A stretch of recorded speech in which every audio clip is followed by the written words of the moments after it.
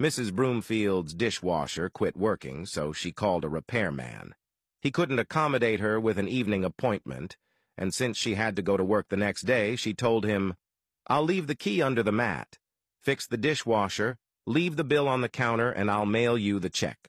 By the way, don't worry about my Rottweiler Brutus. He won't bother you, but whatever you do, do not under any circumstances talk to my parrot. When the repairman arrived at Mrs. Broomfield's apartment the next day, he discovered the biggest and meanest-looking Rottweiler he had ever seen.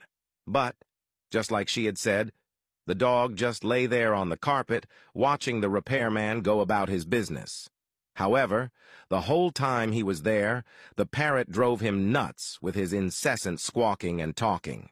Finally, the repairman couldn't contain himself any longer and yelled, Shut up, you stupid bird!